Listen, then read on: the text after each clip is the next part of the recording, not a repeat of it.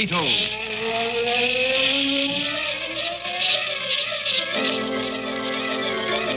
Sweeping down upon the underworld to smash gangland comes The mysterious, all-powerful character who is a problem to the police, but a crusader for law. In reality, Dan Garrett, a rookie patrolman, loved by everyone, but suspected by none of being the Blue Beetle. As the Blue Beetle, he hides behind a strange mask and a suit of impenetrable blue chain armor, flexible as silk, but stronger than steel.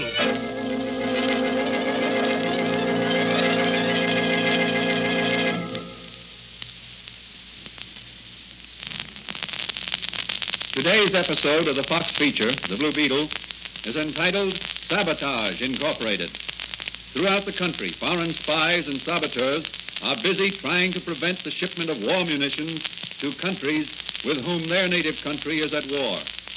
Near York City is located Explosives Incorporated, one of the largest manufacturers of munitions in the country. Every night, trainloads of munitions leave their factory for some secret destination. As our story opens, Officer Manigan and Patrolman Dan Garrett, who is really the Blue Beetle, are investigating a mysterious telephone call from Wentworth B. Charles, president of Explosives Incorporated, who lives at the Monaco apartment. Well, here we are at Charles' apartment. Push this button, Danny.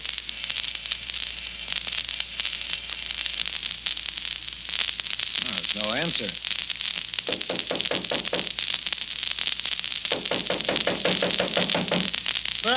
Well, let's break in the door. Now, we'd better call the superintendent. He'll have a pass key. Is something wrong, officer? Uh, who are you?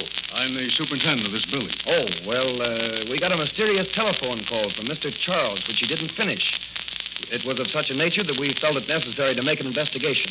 He doesn't answer his bell or our knocking. Well, I have a pass key here. I'll unlock the door for you. Something's holding the door shut. Fred, come on, and we'll break it in. No, no, no, wait. I'll telephone the owner of the apartment house.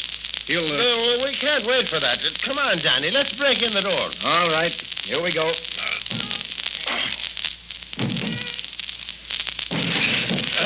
Well, uh, uh, well, there's, there's nobody here. Look in the uh, bedroom there. Okay, I'll have a look. I hope nothing happened to Mr. Charles. He's one of our best tenants. Hey, He- Danny, look. Here's Mr. Charles, and he's... What is it, Mike? Hmm. Is he dead? I think so. Look, there, over his heart. A wound. Yeah, right through his pajamas. A 22 bullet, I- I'll bet. No, no, it's a stab wound. That's Mr. Charles, all right. Is he dead? Yes. Who could have done it? That's what the police would like to know. And that's what we have to find out. Well, I, I don't see any weapon. Look for an ice pick or a thin stiletto. Okay, I'll have a look around the apartment. Hadn't I better telephone the owner of the building? Not yet, and don't leave the apartment. Yes, but Whose apartment adjoins this on the bedroom side?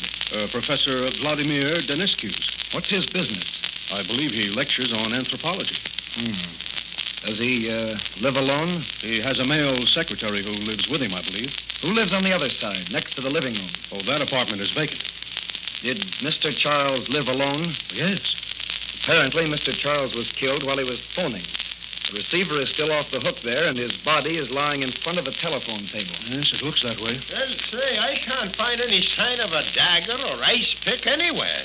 There's an electric ice box in the kitchen, so I don't think Mr. Charles would be needing an ice pick himself. What about the windows? They're all locked. Any fire escape? Nope. It's a 14-story drop to the street on all sides. How many uh, floors above this, Superintendent? Uh, 15. Any uh, other entrances to this apartment? Only a service door in the kitchen. Yeah, I, I, I looked at that. It's locked and bolted from the inside, and there's no knob on the outside of the door. Well, Mike, you'd better phone the coroner. I'll just have a look around the apartment. And then I'd like to question the professor and his secretary. Maybe they can throw some light on this case.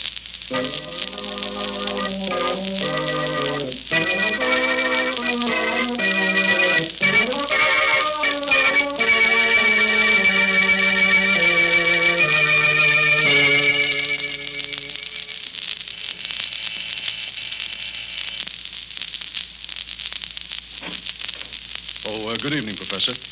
Good evening. And What can I do for you? Uh, this officer would like to ask you some questions. There's uh, been some trouble next door, and the police are interested in getting some information. Well, won't you come in, please? Thanks. Now, what is it you would like to know, officer? I am sure I cannot be of any assistance to you. Did you uh, hear any commotion or unusual noise tonight in Mr. Charles' apartment? No, no, nothing. In fact, I've been so busy with my studies that I doubt if I would have heard any noise coming from anywhere. When I am doing my uh, research work, I concentrate very deeply. Do you have any children, Professor? Me? Oh, oh no, no, officer. I, I am not married. That uh, gun there. Do you use that in your research? Oh, that? Uh, that belongs to my secretary. He is off tonight. He bought it for his little boy. It is an air rifle. Hardly strong enough to... To what? I mean, it uh, has the appearance of a real gun, but it would be no good for hunting game other than small birds, I assure you. Uh, here, uh, have a look. Yes. Yes, I can see you're right. I presume a BB shot from this air rifle would hardly have enough force behind it to kill a man. Kill a man? Has someone been killed? Yes, Professor. Mr. Charles, your next door neighbor, was murdered less than an hour ago.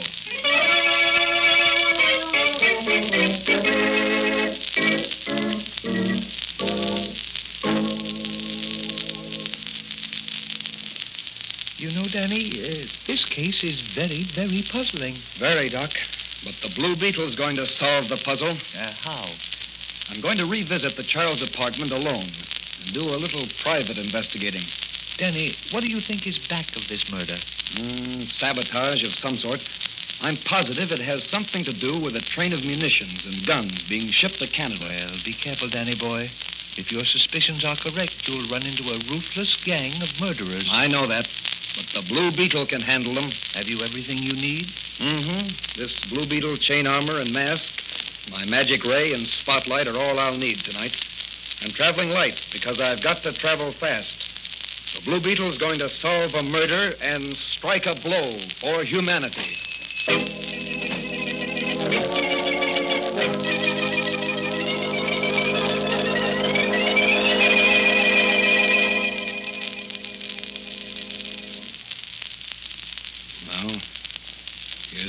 Charles' bedroom. The body's been removed, but nothing else has been disturbed in the bedroom here. Hmm. That picture on the wall there, facing the spot where Charles was sitting when he was killed.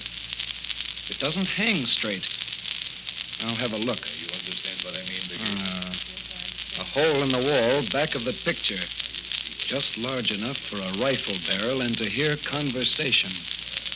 Now, here.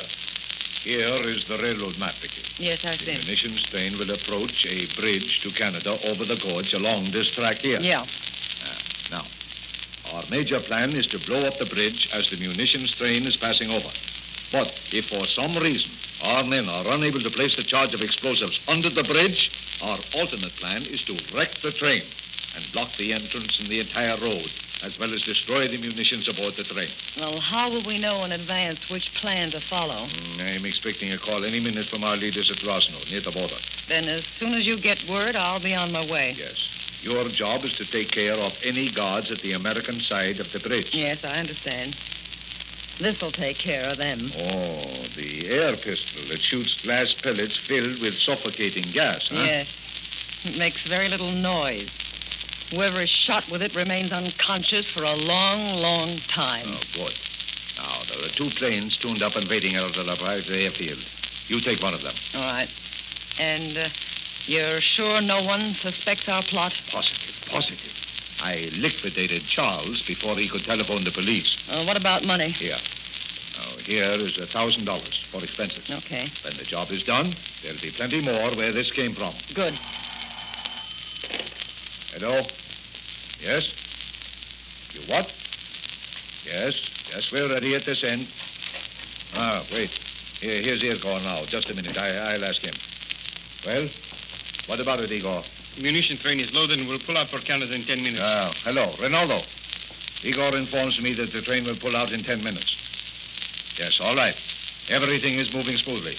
We'll be with you soon. Goodbye. What's that? I can't imagine what that could... That, that's the Blue Beetle.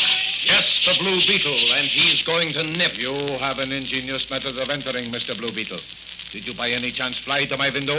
And just what do you want? I overheard your whole plot from the next apartment and crawled along the ledge outside the window. Then he knows... Everything. And I'm going to turn you over to the police. All of you. Get away from that phone, Professor, or I'll burn you with my magic ray. Oh, no, you won't, Blue Beetle, because you won't be able Put to. Put down that gun. Mickey. There. That'll fix Mr. Blue Beetle. Ah, let us get out of here. The gas is making me sick. And what about the Blue Beetle? We'll tie him up and take him down to the freight yard and put him aboard the munition train. The Blue Beetle will have a rude awakening sometime in the early morning hours.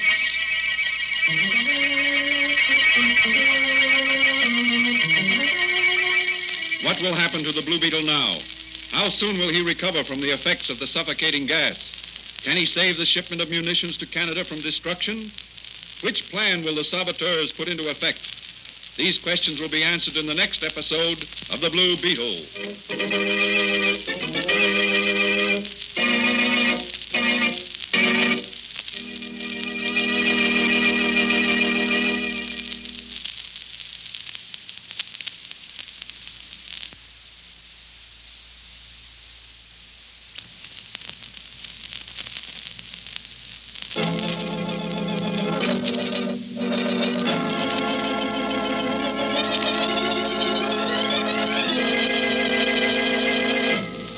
Blue Beetle is a copyrighted Fox feature appearing in Mystery Men Comics magazine and the Blue Beetle magazine. The Blue Beetle is on the air twice a week on this same station. Consult the broadcast schedule in your local newspapers. And don't forget to listen in to The Blue Beetle.